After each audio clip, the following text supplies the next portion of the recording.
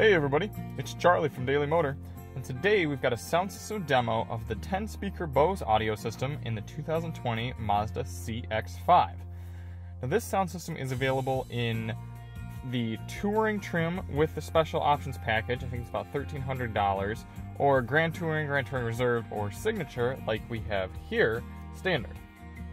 Now interestingly, this is only a 249 watt system from the best I was able to figure out. So we'll see how that kind of plays in to the overall sound quality that it can provide. Before we get started, let's hop out and take a quick look at the car.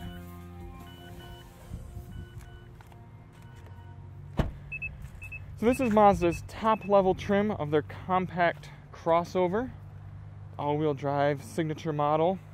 Looks good here in this gray metallic paint, nice gray wheels, if you guys want to see more on this CX5 in general, we've got a full featured review featuring me and Alyssa going around the car and giving our thoughts, as well as a real world highway fuel economy test that this car debuted. Before we get back in, let's check out speaker grill locations here. So we've got one, um, two, three, four, five. Six, seven,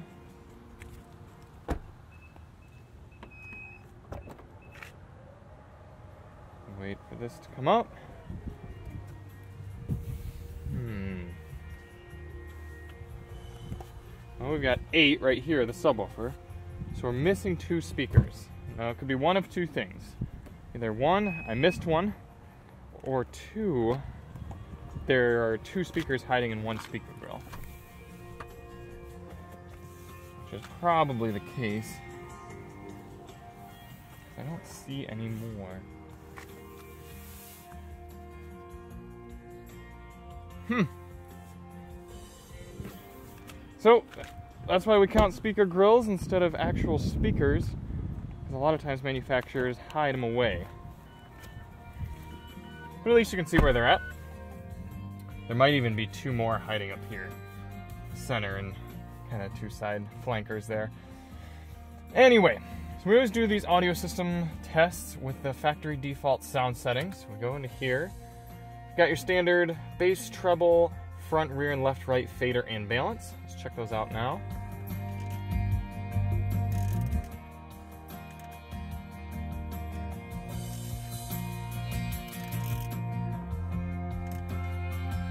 Then you also have Bose Centerpoint, which kind of creates a 3D centered experience. This way it sounds a little bit wider. Then you've also got Bose Audio Pilot, which will adjust your volume level of music depending on the ambient noise level in the car, typically from road and wind noise when you get up to speed. So we'll leave that all centered out for now, maybe play around with it by the end of the test. So in terms of audio inputs for the CX5, you've got a decent amount you have, let's see, that's just a 12 volt. Your standard AM, FM, Sirius XM satellite radio. You have Bluetooth, AHA, which was kind of a, an internet streaming radio service, as well as Pandora and Stitcher. Then you've got two USB ports in here, and then also a 3.5 millimeter auxiliary input jack. So what are you missing? Well, you don't get you don't have a CD player. Not too common to see those here in 2020 on new vehicles, but still be nice to have for high fidelity audio. In terms of audio system controls, I really like how Mazda does their layouts here because you've got this nice, easy to use center rotary knob here. So you're driving along, and once you get used to using it, you can easily go from home over to, say, map, or just use the buttons to go straight back over to your audio system super easily, barely even have to take your eyes off the road. Kind of turns into muscle memory. It's very nice. But then, if you're stopped and you want, you're welcome to use it as a touchscreen. I don't typically use the touchscreen feature. It's pretty far away. It's a little bit laggy. Kind of just prefer to use the center thing, keep the fingerprints off of there. But it is nice to have that option. So for volume adjustments, you have a nice knob right here next to your center control knob. It's got good detents. You can push for mute. Then you've got steering wheel controls up and down right here. For track selection, you can cycle through to the track forward, back, and pause using the center rotary knob. And you can select from the steering wheel as well, back and forth, or use the touchscreen when you're stopped. This is a little different from Mazda's new system, like in the CX-30 and, and Mazda 3, where you can just use the volume knob and toggle back and forth between tracks. So not quite as functional, but still useful. All right, let's fire it up. Unfortunately, the music ducks out, but it is what it is. Let's get on the road and listen to a few more tracks.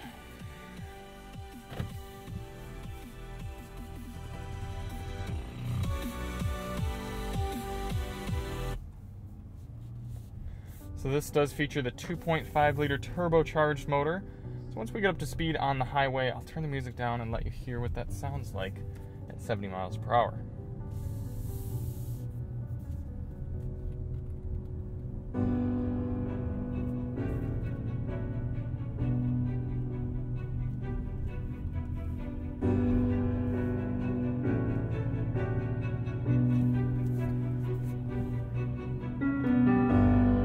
Are trying one new thing with this sound system demo compared to our old ones. You may have noticed we're shooting in a narrower field of view than typical.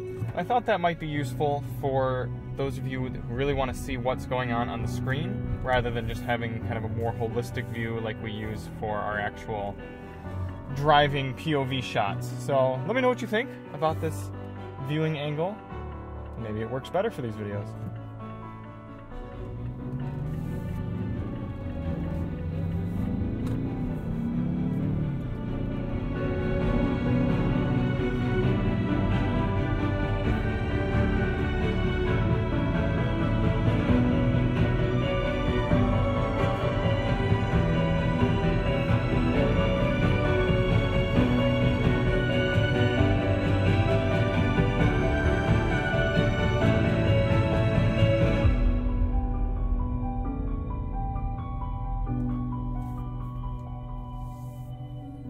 Of tough to tell because the sound, uh, the music is kind of getting a little softer right here, but the Bose Audio Pilot actually quieted the music a little bit for us as we were coming down to the stop here, and then as we get going, it'll raise the volume again.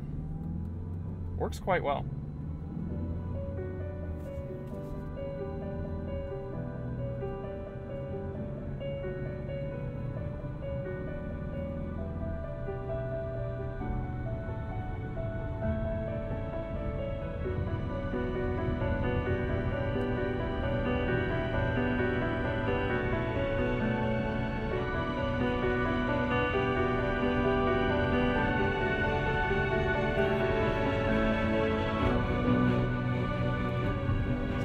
Coming up to highway speeds, I'll close the sunroof shade and let you hear what this car sounds like at 70. A lot of people have concern because the first generation CX5 did suffer from a good amount of wind noise on highway and just road noise in general, just didn't have a lot of sound deadening. But they improved upon that for the facelift of the CX5.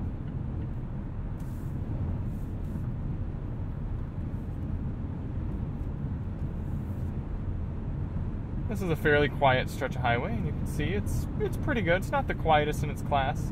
There's a little bit of extra noise from the glass that I wouldn't like to kind of still have, but it's not as bad as the older one and not as bad in general.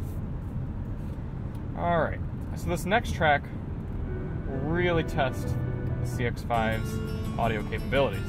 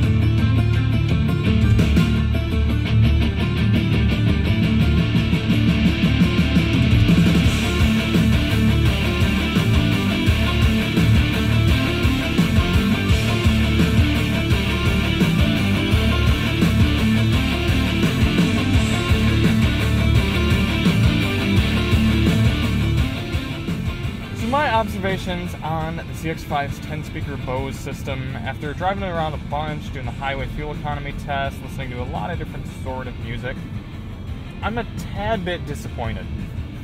I've driven a few different high level Mazdas in these past few months the CX30 with its Bose system, and the CX, uh, not CX, the Mazda 6 sedan with its Bose system. And I expected this one to be right on par, if not slightly better than both of those. You've got a little bit bigger cabin, a little more space to put speakers. It's also a little bit more expensive car, so I feel like you can justify maybe upping the ante a little bit. But there's a hollowness to the sound, and I just cannot seem to get rid of it. It, it. There are certain songs that it doesn't show through quite as much. I think a little bit more of the kind of electronic and hip hop sort of music. But in the rock and that kind of music, like like this song, you just really hear an openness. That's it's kind of like an exaggeration of the mid-range sounds, and it's really missing a top-end crispness. I found what I needed to do to enjoy the music a little bit better is go into the sound settings here and turn the bass up one and the treble up two just to kind of add a little bit more to the system. So let's do that now. Bass up one. For this type of music, I might even do bass up two as well, but we'll leave it at one.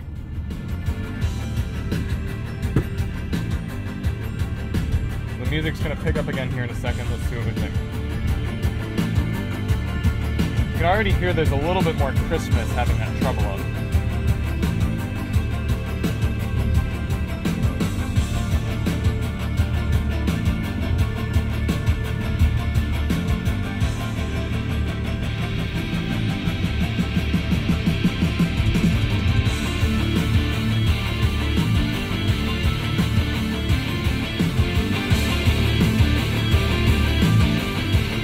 There's just there are weird parts of the music kind of being emphasized. Emphasized, man, tell it's a Sunday.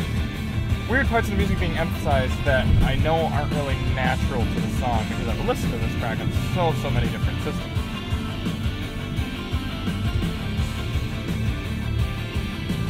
I'm gonna restart this song one more time. And I want you to hear when the bass guitar comes in, the upper guitar kind of gets quieter, and it's not supposed to do that.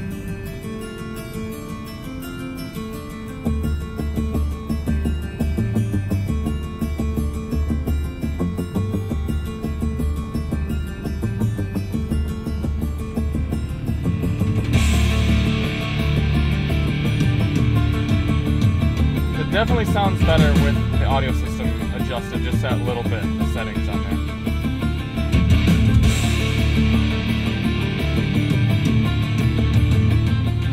one more track and see what we think here with the system adjusted a bit. I'm also going to toggle the center point on and off. See what you guys think about that. I kind of think I prefer it on in this car, but it sort of depends on what music I'm listening to.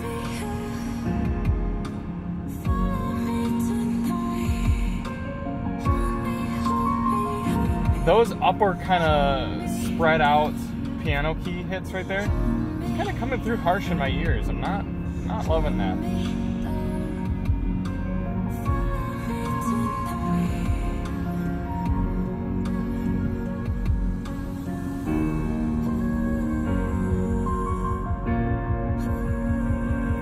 I could definitely go for more low end right here too.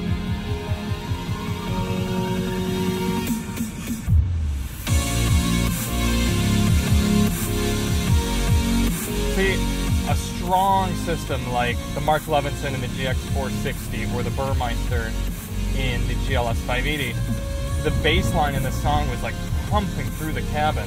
That's just not really happening here.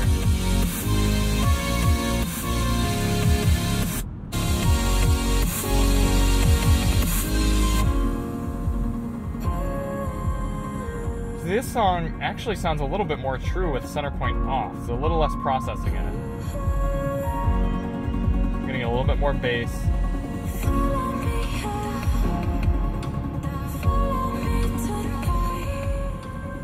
Anyway, if I had to give a rating to the Bose system here in the CX5 signature, I'd be giving it about a six and a half.